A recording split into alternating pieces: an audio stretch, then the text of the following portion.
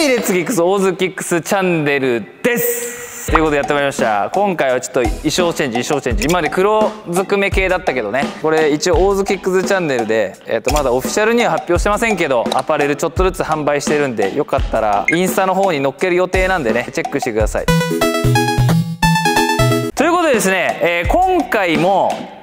とスキル動画を上げていくんですけれどもあんまり触れてないところをねちょっと掘り下げていこうかなと思っております。題して悟空シリーズ第42弾キックフェイントをやろ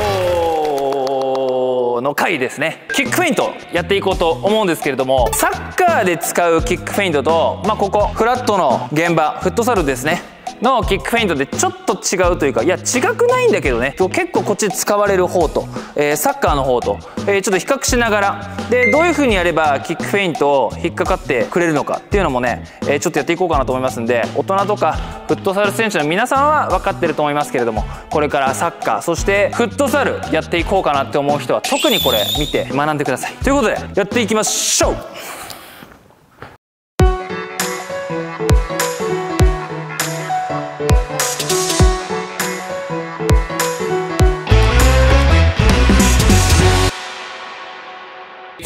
ですね今回用意するものは立体マーカーがある人は立体的なマーカーあった方がいいんですけど今日ちょっと忘れちゃったんでフラットマーカーでやります。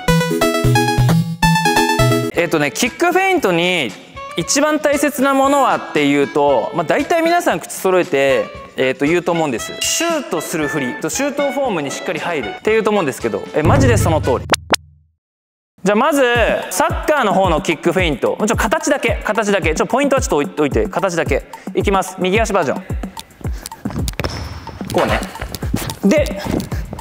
シュート。まあ今のがサッカーでよく見るようなキックフェイントかな。これをこのフローリングの方でやるときは足の裏使います。僕がおすすめするキックフェイントは2つ。インサイドはインサイドなんですけどちょっとインサイドの使い方が違うのともう1個は足裏で止めるっていう形かな。で、まあ、ちょちょ順番逆になっちゃうんですけどじゃあまず足裏からいきます。で足裏はどういう風にキックフェイントするかというとロール。ロールが。メインになってくるのでまずはちょっとやってみます。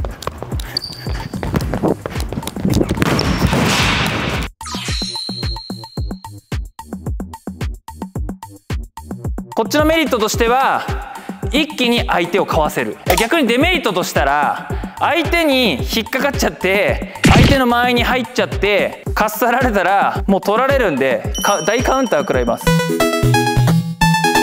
はい、ではですね、えっと、冒頭にも言ったんですけどキックフェイントの一番大切なのはシュートフォームに入ること。シュートするふりをしっかりしましょうということなので今、えー、と流れた映像はもう形形です。完全に触り。ちょっとここから本域でいきます。じゃあまずシュート普通に打ちます。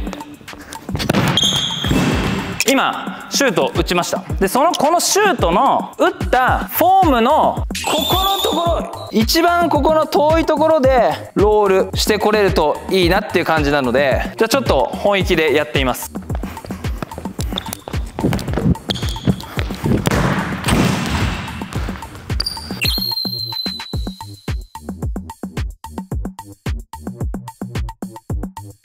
の方は体を一気に逆の方に持っていきましょう。シュートを打つモーションに入って一気に体を逆に持っていく。ここでシュートを打つとしたらここで体が残っちゃってると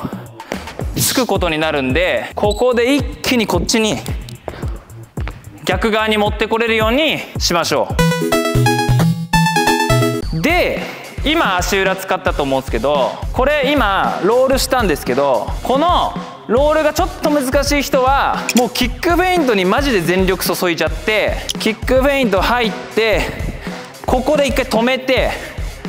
止めて右足もう一回さらして入ってくるもあり。そのバージョンちょっと一回いきます。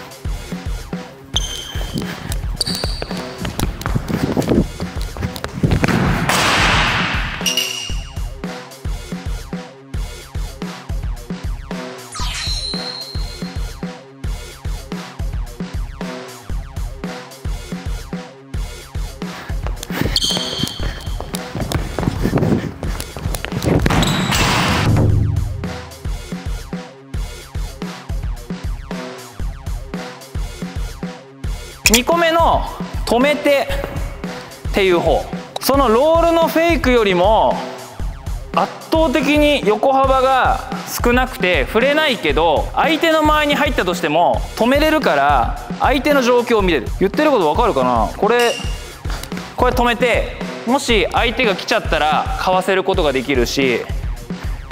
とにかくね前前前 とにかく前前もやったっすけど前です。なのでどっちを使ったらいいかっていうのは分からないんだけどフットサル選手はこのロールの方のキックフェイント結構多用した方がマジで引っかかるかも。本当に打ちに行くんだけど体を逆に流す。いやこれ編集するまで分かんないですけど多分こっちの方がいいんじゃないかと思います。ょっとしたメリットですけど、まあ、そのインサイドのメリットは本当ね僕の感覚ですけどよりシュートっぽく見えるしあとはねミスディレクションの一つだけどこうやっていくとバンってシュート音こう鳴るんでわかる？これ。音が鳴るからよりちょっとリアルかなっていうところですね。普通に足裏とインサイド両方とも使ってる人いるしやりやすい方でとりあえずいいと思います。でここからなんですけど一番キックフェイントに大切なのはどこかと言ったら角度とかって今いろいろ言いましたけどシュート打つ前のワンステップだと思います。あのシュートに入るモーションに入るってさっき言ったんですけどこの最後のモーションフェイクモーションに入る前を加速しなければあのうまくシュートフェイクにならないのでそこを気をつけてください。ちょっと悪い例いきます。悪い例。今映像で見てもどう？えー、何もしてこなくないっていう。でもここの今さらしのドリブルはもう全然ゆっくりでいいと思う。んだけど中入ったここまでを早くしてもらいたい。ちょっとうまくいくか分かんないですけどやってみます。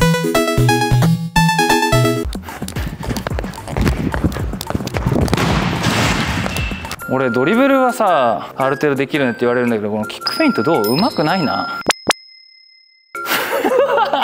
苦手だな。これ動画にしていいかな。っていう人に。っていう人に言いたい。俺もまだ練習中なんでキックイントこの30ねもう8になるっていうのに。まあでも気をつけた方がいいポイントはここです。1個前を加速してよりよりこのモーションだけじゃなくてモーションに入る前の一歩をより早く見せてよりシュートを打つよっていう風に見せかけますはいということでですねえー、っと僕も苦手なキックフェイントについての解説でした。あの言葉にしたら絶対ね合ってるはず間違ってはないはずなんですけどドリブル動画めっちゃ出してきたんでキックフェイントもっていう風にちょっと言われたんですけどなので今回ちょっと動画作ってみました。動画スローとかで多分差し込んであると思うんですけど僕もねキックフェイントねうまいかって言ったらそうでもない。フォームフォームね。フォームフォーム。なんですけど僕が心がけてるのはまずドリブルが自分にはあると思ってるんでその加速して止めてっていうところを意識すればフォームちょっと汚くてもね大体引っかかります。なので最大のポイントであった1個前のところをねしっかり加速してキックフェイントモーションしっかり作ってえー、フェイントをやってみてください。ということで、えー、今回もね、えー、ご視聴いただきありがとうございました。チャンネル登録とグッドボタン各種 SNS のフォローよろしくお願いいたします。あとキックフェイントをこうしたらいいんじゃないかっていうコメントもマジでいただきたいのでぜひコメント欄、え、DM でもいいんでください。ありがとうございました。